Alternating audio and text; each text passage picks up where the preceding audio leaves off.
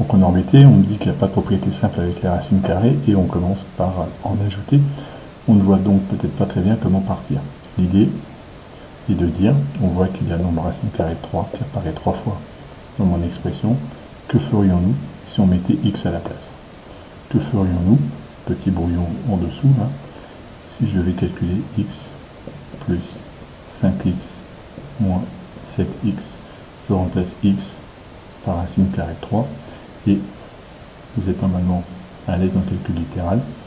Ce type de réduction de somme ne vous pose pas de problème. C'est exactement la même chose qu'il faut faire ici.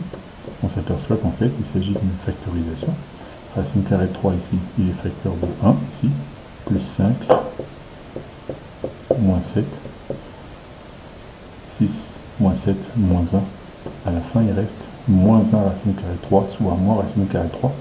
Exactement ce que nous aurions fait ici si nous avions opéré avec des x.